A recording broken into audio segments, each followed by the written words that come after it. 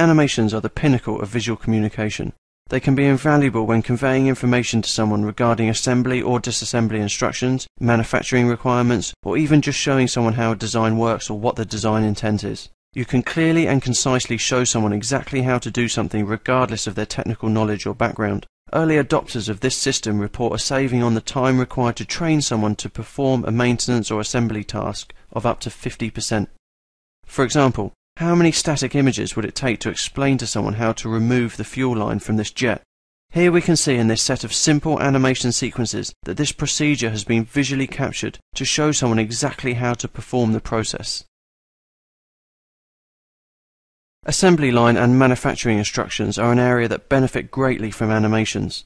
Animations can be annotated with company or industry standard symbols or images, or you could include instructions for the viewer to flash up on the screen, or even arrows and highlighted flashing components to draw attention to difficult areas or commonly made mistakes.